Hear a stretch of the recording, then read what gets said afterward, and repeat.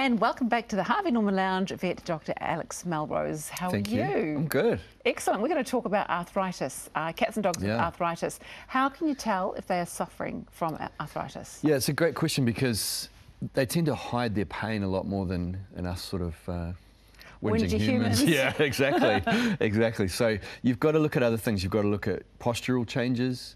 Uh, and often behavioural changes as well. So if their temperament is a little bit out, that can be a clue that something's going wrong. Yeah. Because, so is it true that they don't actually show us pain as much, our little pets? Yeah, they, they they'll. It's sort of a survival instinct, I believe, where it, it advantages them to not show any weakness. you Not my know. dog. She's a wonderful Yeah, so-and-so. yeah. Well, she's probably been In brought up a certain way Oh, to. What are you, know, implying, Alex? to- nothing at all. Nothing at all. Let's go back to arthritis here. Let's Okay. talk so about don't your show us their pain, so should, we should take them in for an X-ray to see if something's actually going on. Yeah, yeah. So we can, as a vet, we can we can figure things out a bit more easily. I see, yeah. You know? Yeah. Okay. So we, we can take X-rays and also we, we'll manipulate the animal a lot more and, and isolate areas of pain, see where their muscles are reacting and spasming and things like that. Does it get worse in the cold? Yeah, it does. Yeah, that's not a fallacy. It, often you'll find that, um, particularly in large breed dogs, they'll, they'll literally freeze up a bit more, you know, in the winter, and they'll get a lot stiffer and a bit, bit more sort of um, reluctant to jump up and get out and do exercise. So what actually is arthritis? Well, it's a degeneration of the joint surfaces. So you can have um, cartilage pieces breaking off and floating around inside the joint. You can um, get a roughness to the edge of the bones. Um, in some situations, like in the spine, you can get little pieces of disc um, degenerating and fracturing out. So it's it's a roughness in an area where, where things are meant to be, you know, articulating smoothly, and pressure on nerves, pressure on, on bone, pressure on tissues causes that pain, and then um, it's up to us to try and alleviate that as best we can. You know? Is it is it a common thing for dogs and cats to get?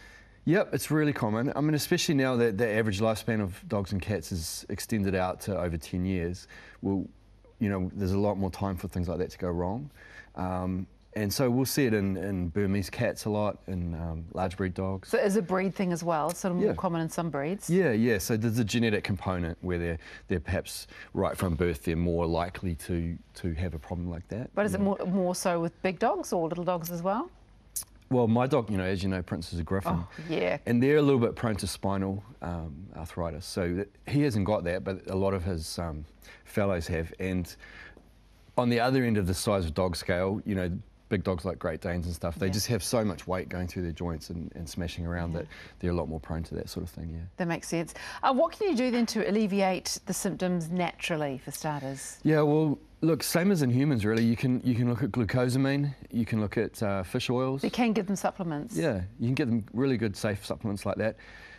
Controlling weight is number one. So if, if you've got a dog that's you know 10 or 20 percent overweight and you get it get it healthier and get it lighter, sometimes that's enough to take away nearly all the pain just by just by itself. Really? Yeah. And what about you as a vet? What can you actually prescribe for a dog? Yeah, so we'll, we'll use, um, we've got all sorts of stuff really when you think about it. We, we've got the traditional sort of non-steroidal anti-inflammatories, like a, a human equivalent of Voltaren, Mm-hmm. and, and that'll, that'll drop swelling down and drop pain levels down.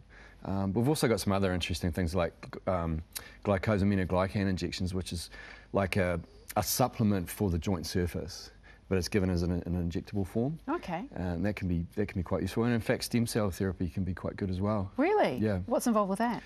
Well, we inject a stem cell activating factor into the animal, and it stimulates the body to produce more of its own stem cells. That sounds expensive.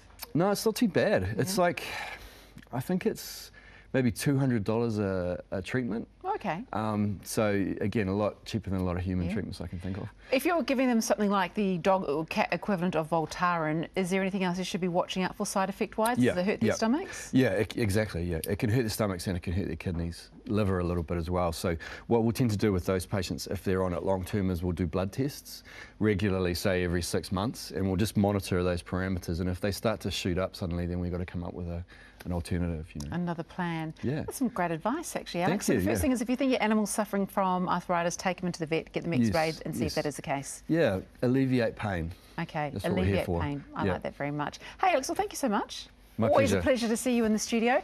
And uh, I think great advice as well. And now to our pet of the week. Congratulations to Chloe and her teddy. $50 to spend at petpost.co.nz is on its way to your owner, Susan Liverton from Romotea. And if you'd like to enter your pet, and it can be any type of pet you want, I just upload a pic onto our Facebook page.